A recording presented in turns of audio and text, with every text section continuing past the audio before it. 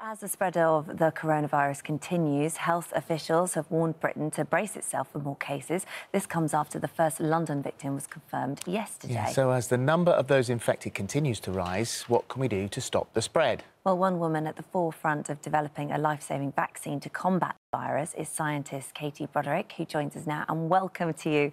It's so lovely to have you here. My goodness, it's one of those briefs I read this morning. I was like, I can't wait to meet you and ask all these questions. Um, you studied uh, genetics at Glasgow University. You completed your PhD there. Then you took a job at the University of California, where you now live.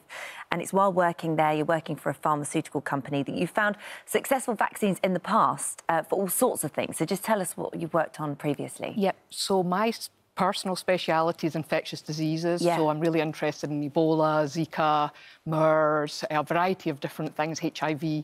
But obviously, recently, our focus has been completely on the novel coronavirus. Yes. So when did you first hear about it? When was it first on your radar? Yeah, to be honest, it was in the news. Um, it wasn't through any scientific means. I just read it on the BBC website on the 31st of December when at home with the kids. And I thought that's interesting from a scientific perspective, but it wasn't terribly worrying. But over the next few days, then, as the case numbers increased significantly, then you know I was on the phone to my colleagues saying, you know, this is really something we want to take seriously. And so we have to be grateful here that the Chinese posted the genetic code because it was from that that you were able to start working on it, understanding what was actually happening here. Yep. Um, so once you have that code, why is that important? What does that unlock for you? Yeah, absolutely. And I have to thank the Chinese authorities because without that, we really couldn't have done anything. So because we use a DNA medicine vaccine, we need the genetic code to be able to design the vaccine. So as soon as we received that code, we were able to immediately start designing the vaccine. And in three hours, we had a design ready and ready to go. Three so hours. three hours to oh design a, a, vaccine. Um, and how, how have you managed to do that when in the past it took such a long time? Yeah, so the vaccines that you and I are really familiar with, what we would call traditional vaccines, um, they're based on a protein, which is different from the type of vaccines that we develop at Inovio. And they take, in general, two to three years to develop. So you can imagine in an outbreak setting like what we're seeing in. China, mm. two or three years isn't going to help. Yeah. So that's where this new technology comes in, where we can really rapidly make a vaccine. But it's still not quick, it's still not right. OK, there it is, that's fine, let's get, let's get it all out there. Exactly, it's not overnight, um, and it's important it's not overnight because you need to perform the proper checks and balances to ensure it's safe and it's effective. So we're doing as fast as we can, but it's certainly not going to be tomorrow. It has to be tested, Exactly, it? absolutely. So is, it, is it right that it, will be June before it's gone through its tests? We're hoping um, June would be the first time we'll get it into human subjects for what we call clinical testing. And then when will it become available? That's kind of not necessarily up to us. Um, that's then sort of the regulatory authorities right. then get involved and say, OK, we think it's effective enough that we should roll it out to the general public. So when you've made it and it has been approved, how much do you have to make? Well, in China, we're talking about 1.4 billion people. Mm. Um, you know, in the United States, we're talking about 300 million people. So we're talking about huge amounts of vaccine. So you might even have the best vaccine in the world, but if you can only produce a few thousand doses, it's not really going to make no an impact. And so one of the most important things for you guys, I guess, is, is the investment behind it in order to, to manufacture something like this on that scale. Absolutely. And we're really honoured to be one of four worldwide entities to have received a partnership funding from an organisation called CEPI, which is offices based here in London.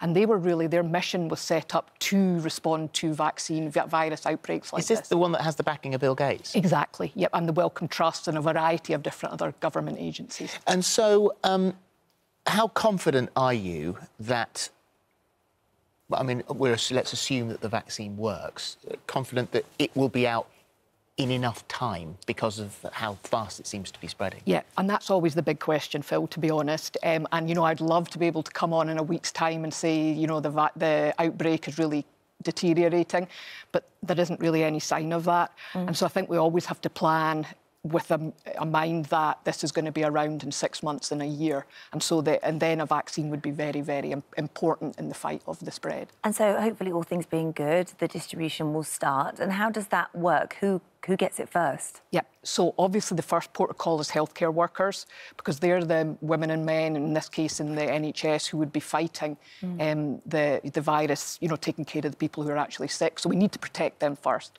Mm. Then you would probably go with people who have what we call underlying illnesses, which are the ones who seem to be unfortunately dying yeah. from the virus. And then you would scale it up once you've protected else. those two groups. Do you think what we're seeing, the numbers that we're seeing, is just the tip of the iceberg? You've got to watch about scaremongering. And, you know, I'm not an epidemiologist, I'm just a scientist, but certainly it's very concerning the number of cases that we're seeing. And today there's been a huge number of jump in the number of cases. So I've heard a lot on the news about this is tailing off. Certainly what I'm seeing, I, I don't see any evidence of that. So you're doing this incredible job. You're doing this incredible work that hopefully is going to go on to save lives of 100,000, millions of people. For you, as a mum, as a woman, you're you're trying to combine this as well as putting the kids to bed at night, doing the school run. How much? How many hours are you sleeping at the moment? Not much. Not much at the moment. Yeah. So how is yeah. that all possible? I just think. You know, I've got this duty, this responsibility, you know, with the training I have to kind of do whatever I can with my team and, and everyone working on it to try and make an impact because this is a pretty critical situation. Yeah. But my kids are my world and um, you know, they're also kind of a way to de-stress, right, and yeah. not kind of just think about this 24 Oh, there you are. That's There's a lovely gorgeous picture. family. Look oh. at that. and the dog. the, um, quarantine seems to be the answer at the moment. I think the, the biggest outbreak outside of China is on the cruise ship. Yep. Uh, so is, is quarantine the answer?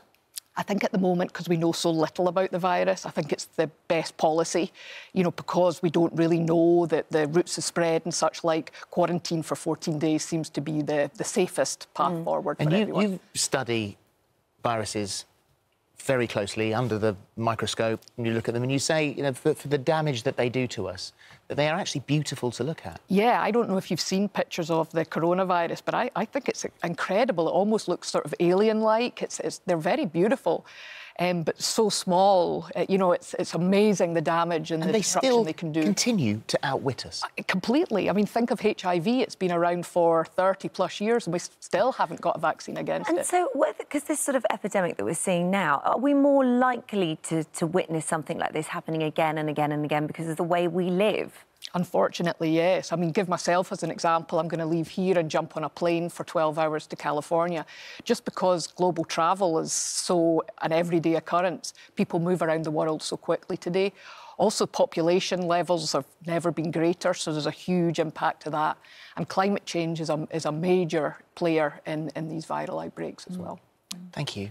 Thank you. Will, will you thank your team? Yes, on, absolutely. On our behalf, thank you for everything you're doing you. to thank try and protect much. us. Yeah. Thanks very much for thank having you. me.